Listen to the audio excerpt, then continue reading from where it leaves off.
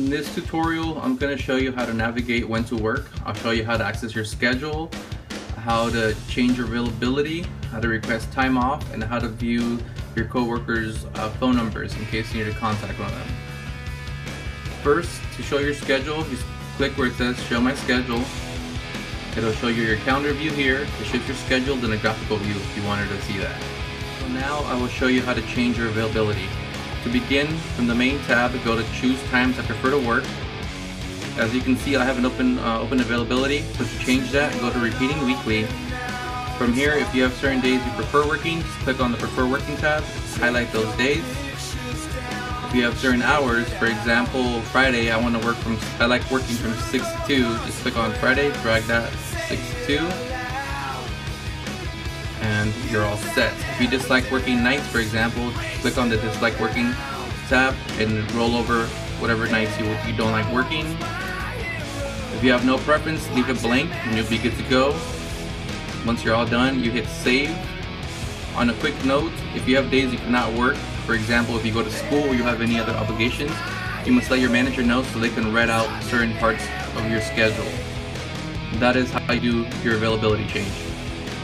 Now I'm going to show you how to request time off. What you want to do is go to the request time off tab, click there. Uh, if you want to request a full day, just want to click on full day here. Click whatever day you want. For example, I'll request the 28th to the 31st. So you want to click the first day, then just add the amount of days here that you want to add to. So say three days for example, one, two, three. Hit request time off, or if you want to add a comment here, you can add whatever you like. Um, school events, going to a concert, etc and hit request time off and you'll be good to go. You'll see it down here it's under pending. Once it's, once it's approved, you'll see that it will say approved. If you want to cancel your time off, just go ahead and hit the cancel button, acknowledge that, and you're all good to go. The time off is canceled. Now if you want to choose a partial day, say for example I want to work Saturday morning only and have the night off, I go to partial day here, click on Saturday, and I need to be off by 3 p.m. So you just go down to 3 p.m and leave it till midnight.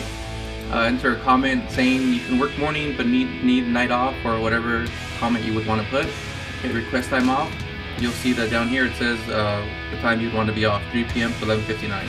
And that is how you request time off. Finally, the view staff list where all your contact information of your coworkers will be at. is go to view staff lists. From here you want to filter to our site which is uh, 100 411 to look under the GSAs, which is uh, which are the valets. Doors for door, cash for cashier, and GSC core is for the GSCs. Uh, so basically click on any of those. So you'll see all our valets here listed. Some people do have the option of, to hide their numbers from everyone other than their managers.